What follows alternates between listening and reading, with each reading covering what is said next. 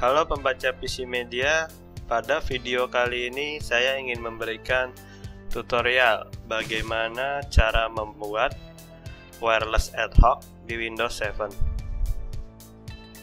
Wireless ad hoc ini bermanfaat bagi Anda yang ingin berbagi file, men-sharing internet, maupun bermain game secara LAN menggunakan jaringan wireless.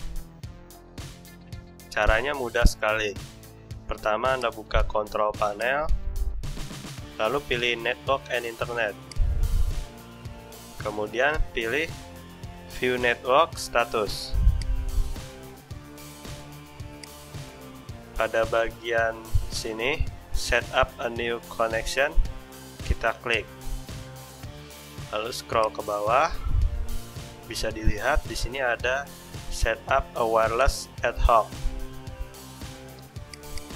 klik next. Lalu beri nama networknya. Kemudian security type pilih WPA2 personal. Anda bisa beri password.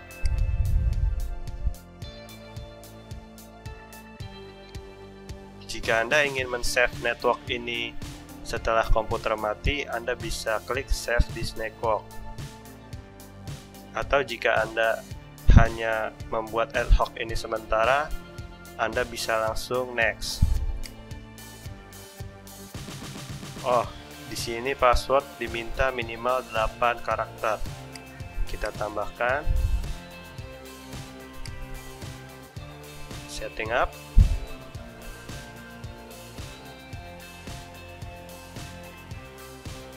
The contoh network is ready to use. Artinya ad hoc sudah selesai dibuat. Kita close. Lalu pada bagian sini wireless atau jaringan bisa dilihat di sini terdapat ad hoc contoh waiting for user. Kenapa waiting for user? Karena di sini belum ada yang login ke jaringan contoh. User lain bisa dengan mudah masuk ke wireless ad hoc contoh seperti biasa tinggal klik lalu connect. Oke. Selain itu, Anda harus mengganti IP wireless Anda. Klik change adapter setting. Lalu pada bagian wireless network yang tertulis Microsoft Virtual Wi-Fi, Anda klik kanan, lalu Properties. Pada bagian Internet Protocol version 4, klik, lalu gunakan IP custom sesuai kemauan Anda.